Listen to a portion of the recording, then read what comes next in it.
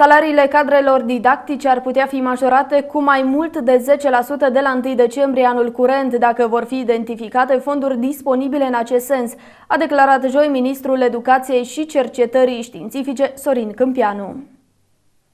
Guvernul a propus creșteri de salarii de 10% începând cu 1 decembrie 2015. Este vorba că tot ceea ce a fost asumat prin acel acord din domeniul educației pentru anul 2016 să fie acordat din decembrie. Am afirmat în numele guvernului că peste acest 10% tot ceea ce se va regăsi ca fiind disponibil va putea fi adăugat pentru creșteri de salarii în educație, a afirmat Sorin Câmpianu. Potrivit acestuia, sindicatele solicită o creștere de 20% a salariilor. Creșterea salariilor cu 20% ar însemna luând în considerare și creșterile de 5% din martie și de 5% din septembrie 2015, o creștere a salariilor de 32%. Guvernul își va ține promisiunea de a adăuga peste ceea ce deja a promis, ceea ce va identifica drept disponibil, a spus ministrul educației.